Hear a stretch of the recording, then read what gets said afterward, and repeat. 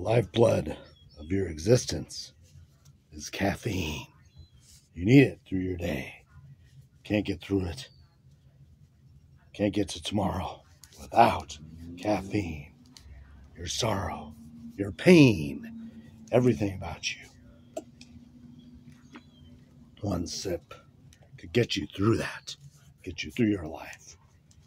Caffeine is the one thing that can get you through every experience in your life.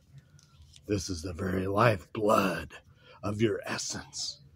Caffeine is the only thing that can get you through the struggles, the trenches of your life.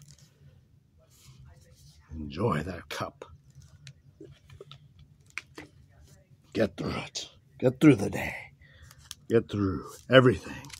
Caffeine is the lifeblood of your very existence.